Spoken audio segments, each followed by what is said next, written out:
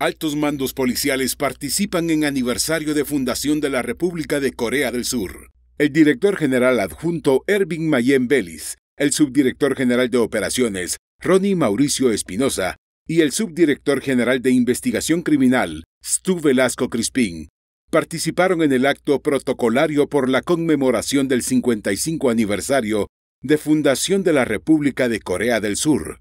Cabe destacar que la República de Corea del Sur ha colaborado con la capacitación de la Policía Nacional Civil en varios temas, especialmente cibercrimen, áreas operativas y preventivas.